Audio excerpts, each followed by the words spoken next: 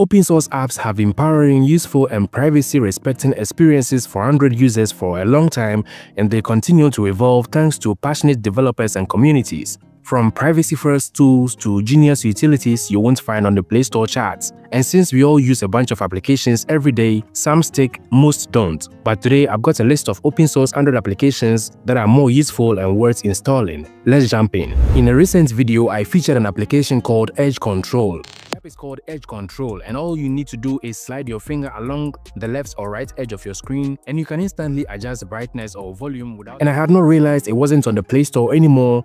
I saw the comments and made my research for a similar application, Meet Edge Seek. It has the same features of Edge Control and even more, and it's open source. So while Edge Control only controls media volume and screen brightness with edge gestures, Edge Seek lets you control your audio or screen brightness plus control alarms, ring and system volume, adjust edge sensitivity and more. Each edge can be set up separately, so you can do volume on the left and brightness on the right. And here's the cool part, there's a dimmer mode that lets you go below zero brightness. It's minimal and smart and honestly kind of addictive once you get used to it. And an application like this also helps maintain physical volume buttons and also saves you time from entering the quick panel to control brightness. One simple timer app I cannot let go from my phone is BBQ Timer. This one's a combination of an interval timer and a stopwatch designed specifically for cooking and other activities. It gives you periodic alarms to remind you to turn your food and at the same time tracks total cook time. Aside having dedicated timer features for cooking as the name suggests, it's still a pretty useful timer. You can type in your interval in any format and it shows up everywhere you need it. It shows up on the lock screen, notification panel, and of course, you can also see it with a resizable home screen widget. And so if you want a simple, straightforward timer that works and is easy to access, check this out. One essential category of apps on most Android phones is weather applications, and even though there are tons of them, most are old but unpopular, and new ones keep coming in. And on the latter, meet Prognoza. And it's not just another weather application. First of all, it's labor, so it's completely free and open source, and it gives you forecast for the day and upcoming days. You can switch between light and dark themes, and if you are on Android 12 or above, the app even matches your system color.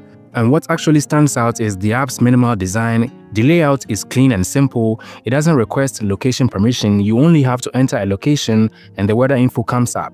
And it supports a couple of popular weather data providers. And so if you care about privacy or just want to check the weather without the application knowing exactly where you are, this one is for you. Speaking of minimalist design, check out Write On. It's a simple notepad application that looks great and gets out of the way. I love everything about this notes app it supports Markdown. You can switch between reading and editing modes. You can archive notes. It supports calendar, text translation tool, and search. Plus, it automatically saves every update. It comes with clean, distraction-free writing with Material You design that can adapt to your wallpaper. You can also choose to only display notes titles on the homepage, which adds to the minimalism. You've got biometric authentication to lock down your nodes, zero permissions required, which is rare, automatic backups, and full offline functionality. Plus, it has screen protection which once enabled, it blurs out the app's content on recent applications. Everything stays on your device and it's built to be clutter-free and ad-free. It is just elegant and it's simple so if it fits your needs, you can check it out. Next, let's talk about Routine Tracker. And this one is for people who want to stay consistent, whether it's a habit or a long-term goal. It's part calendar planner and part habit tracker, and it's trying to do something most trackers don't. Predict how long it will take you to actually achieve something based on your pace.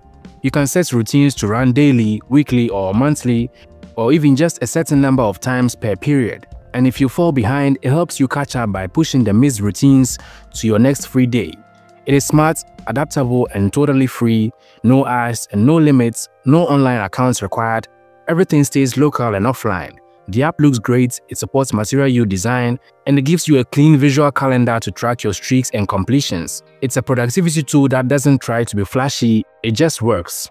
If you are so big on avoiding digital distractions, keeping focus, and avoiding smartphone addiction and all of that, Unlock Master helps you become more aware of how often you are unlocking your phone. It tracks your unlock count which stays in the notification panel, it lets you set limits, and sends friendly nudges when you are getting close to that limit. And for every unlock, the app tracks how long the phone stays on. You'll also get a daily summary notification with charts and suggestions.